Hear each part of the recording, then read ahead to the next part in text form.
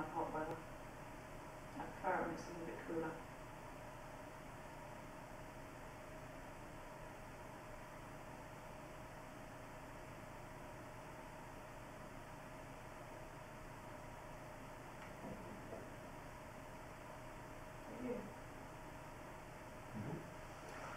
Check that one.